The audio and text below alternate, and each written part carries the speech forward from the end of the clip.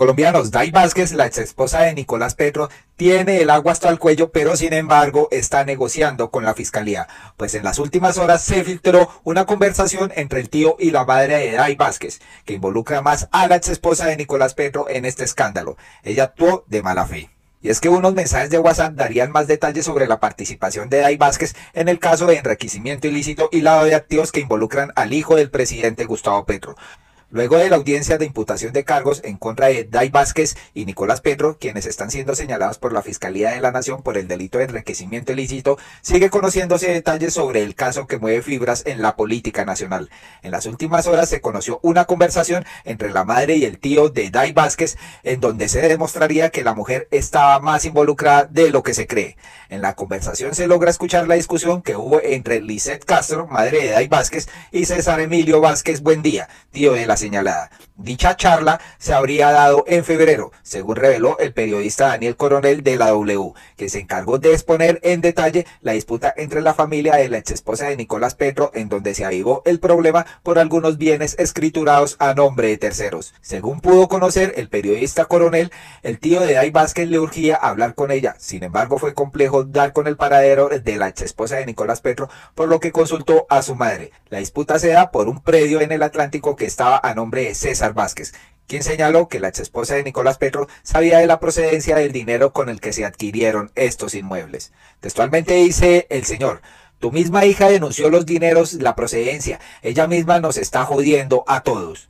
La actitud del hombre causó molestia en la madre de Dai Vázquez, quien le dijo que no le gustaba la forma como se estaba expresando. Asimismo le expuso en ese momento que no podía hablar con la expareja de Petro razón por la cual debía hablar con Gladys Vázquez, hermana de Dai, pues supuestamente ella tenía algo que decirle. Ante dicha situación y la molestia del tío de Vázquez, la madre de la mujer expuso que hablaría directamente con su hija para que no involucrara a nadie en esta delicada situación y preferiblemente colocara a nombre de ella e incluso de su padre todas las propiedades Caso tal, las casas y vehículos, entre los que estaba un Mercedes-Benz de 200 millones de pesos.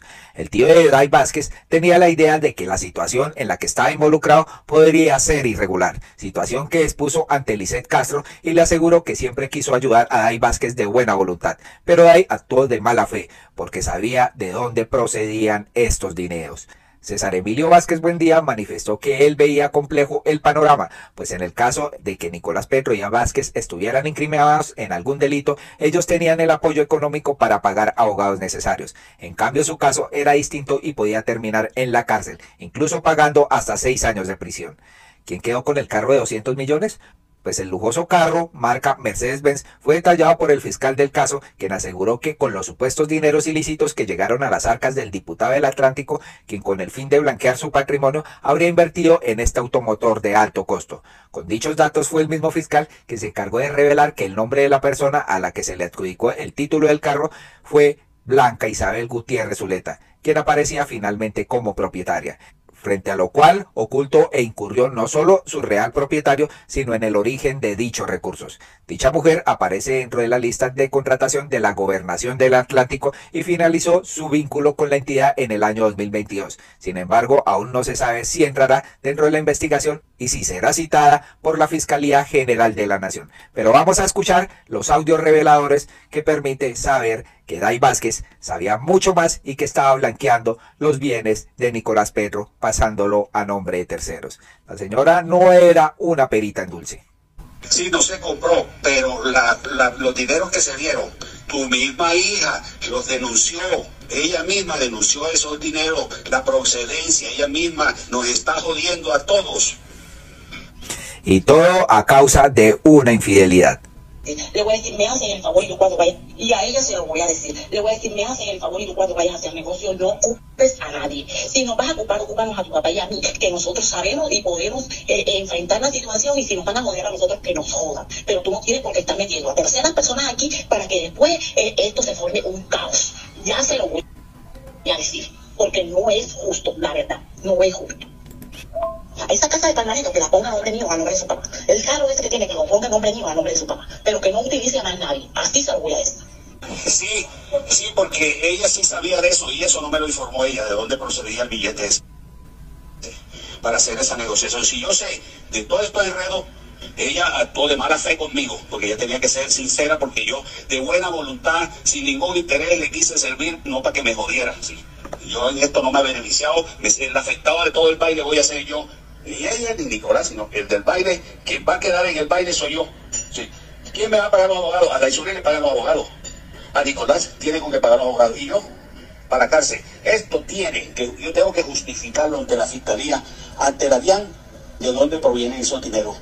Si no, claro, por lavado de activos, mínimo seis años de cárcel. Y los demás van a quedar contentos. No, señor. Metió a la familia en un gran lío esta señora Day Vázquez que una persona, ella iba a saber, porque eso para divino solo Dios lo que iba a pasar, iba a saber de que todo esto iba a pasar. ¿Ah? Eh, o sea, ella te tenía que informar. No nos informó a nosotros de dónde venía ese dinero. Imagínate que somos sus papás. Ella lo hizo sin, sin, sin querer, queriendo, y, y la verdad, esto no se sabía que iba a pasar. El desconocimiento de las cosas no exime de la ley. Ella sabía de dónde venía porque ella estaba en cómplice con Nicolás. Ellos estaban, eran pareja y sabían y ella sabía de dónde venía eso, entonces ella no debió haber hecho eso conmigo, ¿sí? Porque yo de buena fe he actuado. ¿Por qué no lo puso a nombre de Doñito? Ah, porque no lo quería perjudicar. Entonces. Complicada situación para la familia de Dai que se está llevando a mucha gente por delante, incluso su familia.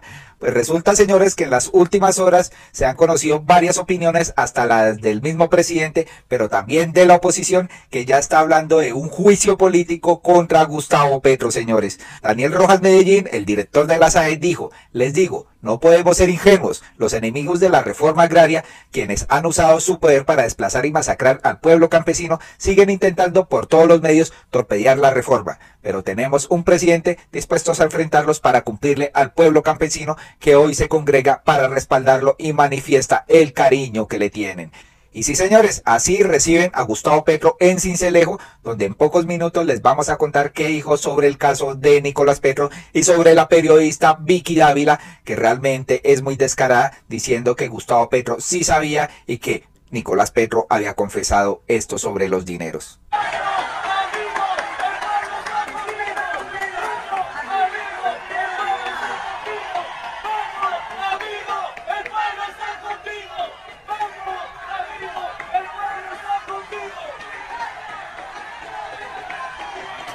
Recordemos que hay muchos poderosos que quieren recuperar este poder que perdieron en las pasadas elecciones y que realmente se les están tirando los negocios. Colombia está sumida en corrupción, señores. Y pues aquí le expresan su apoyo varios usuarios. Elizabeth Ortiz le dice a Gustavo Petro, todos sabíamos que los corruptos iban a hacer hasta lo imposible para atacar al presidente Gustavo Petro, porque no les conviene que él esté liderando este proyecto de país. Ellos quieren seguir saqueando a Colombia, pero el pueblo está con Gustavo Petro. Laura también dice, confío plenamente en el señor presidente Gustavo Petro. Lo han querido entrampar desde hace mucho tiempo y su honradez no ha permitido que la mafia lo tumbe. Sabemos que hay intereses grandes de poderosos que tienen un pie en la cárcel y buscan enlodarlo y escogieron al eslabón más débil, su hijo.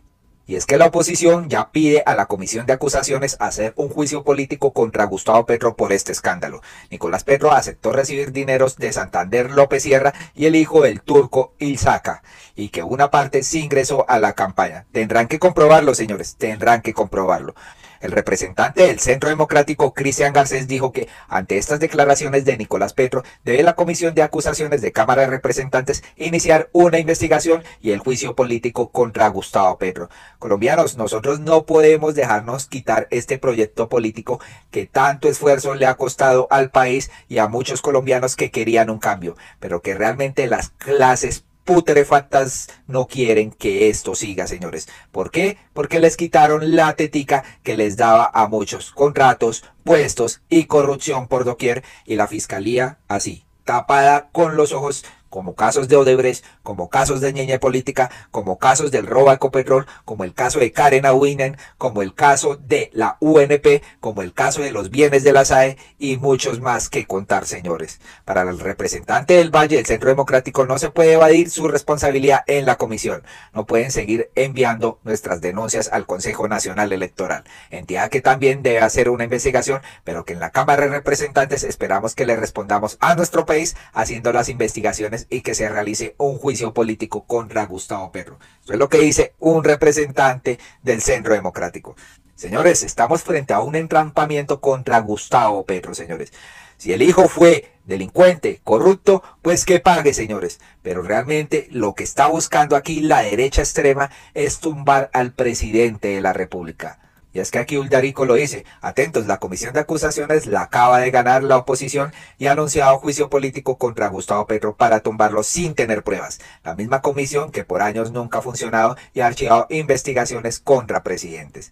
Porque ahora la preferencia, esperemos cómo se va resolviendo esto. Daniel Rojas Medellín de la SAE dice, se suban las manos quienes jamás en su vida se han ensuciado sus finos trajes en la lucha social, quienes quisieran que nada cambie para mantener sus privilegios, quienes esperan que el primer gobierno popular de Colombia fracase para eternizarlos en la tibieza de sus privilegios y la miseria de quienes nos trajeron hasta acá. Pues no es tiempo de tibiezas, son tiempos en los que el pueblo manda, señores. Otro usuario dice, Nicolás el corrupto es tan miserable que intenta enlodar la lucha de millones solo para salvar su pellejo torcido. Y es verdad, ¿no? Ni la fiscalía corrupta, ni la oligarquía y todos los arrodillados tibios podrán parar el sentimiento de este país que tiene pues ganas de cambiar y sea quien sea el líder. Marianini también dice, Day Vázquez, por su acaloramiento, ahora hará meter a la cárcel también a su mamá y a su tío, a quienes puso como testaferros de los negocios sucios en los que metió a Nicolás Petro.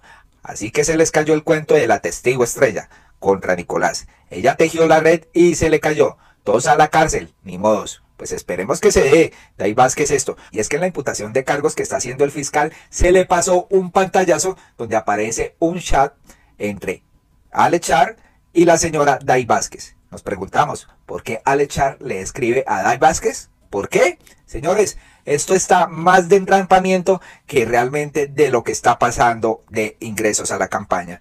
Aquí dice Jenner Usuga, el chat que se le pasó al fiscal en la diligencia contra Nicolás Petro y en la que aparentemente Alechar habla de una persona de nombre Leo que le va a llevar cinco puntos a su apartamento. Y aquí está el pantallazo donde dice Alechar, Dai Dai, ¿dónde estás? Ella dice, ahora en el apartamento, Leo te va a llevar algo. Dale, cinco puntos, escribe él, que gane quien Dios eligió para gobernar. Y ella dice, así es. ¿Mm? Cinco puntos. ¿A qué se referirá al echar, señores? ¿Y qué serán estos cinco puntos? Y este fue el pantallazo que se le pasó a este señor. Bastante sospechoso esto, señores. Y otro de los que sorprendió fue Levi Rincón pidiendo es que la renuncia de Gustavo Petro, ¿no? Dice él en un Twitter, si Nicolás Petro tiene las pruebas de esta entrada de dinero ilegal a la campaña, así Gustavo Petro supiera o no, tiene que renunciar. No hay manera de sostener esto. Por ahora Nicolás se cagó a millones de colombianos que todavía tenían la esperanza en su papá y en este gobierno. Y aquí le dicen por qué va a renunciar, porque no es ético, así de sencillo, es una campaña enlodada con plata de narcos. Petro tiene que ser correcto, así no sea el culpable. Es decir, aquí ya el señor Levi Rincón parece que lo juzgó, señores. Y pues después escribe, es que esto no se trata de si Petro es culpable o no, de que si sabía o no, se trata de que se muestren las pruebas de las entradas de esos dineros de narcos a la campaña por culpa de Nicolás. Y si es cierto, el presidente tiene que demostrar con grandeza a este país. Es sencillo. Pues grandeza que no tuvieron Samper, Pastrana, Uribe y Duque. La diferencia es que estos hijuetantas siempre lo supieron. Pues vamos a ver, señores, porque esto hasta ahora se está conociendo y se están dando detalles. Porque Alex Char se hablaba con Dai Vázquez. Entonces, colombianos, ¿qué piensan de estas conversaciones que se revelaron de Dai Vázquez, donde pues su tío y su madre aparecen como testaferros porque querían blanquear las cuentas, señores? También qué piensan de que la oposición le esté pidiendo pues un juicio político contra Gustavo Petro por este escándalo sin tener las pruebas, señores. Muy amables por escucharnos, esperamos que compartan masivamente este video y se suscriban a nuestro canal.